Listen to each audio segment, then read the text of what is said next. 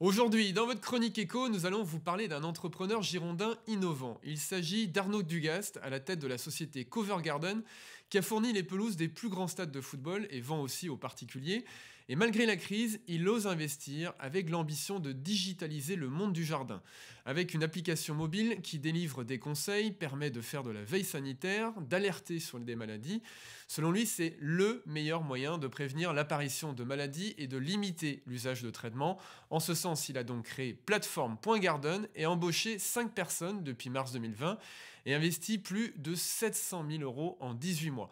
Plateforme.garden, qui est destiné aux professionnels de la FIR, donc aux paysagistes, aux collectivités locales, aux terrains de sport et au golf, a vocation à les aider à faire en fait les bons choix au bon moment via des modèles prédictifs qui sont basés sur des algorithmes qui définissent un risque pour telle ou telle maladie en fonction des données météo et locales.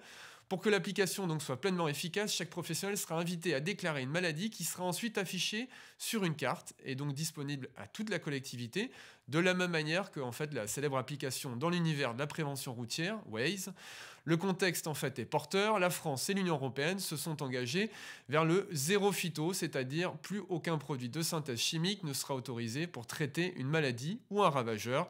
Convaincu que c'est donc le marché, le marché est important, Arnaud Dugaz prévoit d'investir 1,5 million d'euros en 3 ans en R&D. Son ambition est d'atteindre 4 à 5 millions d'euros de chiffre d'affaires à l'horizon 2023.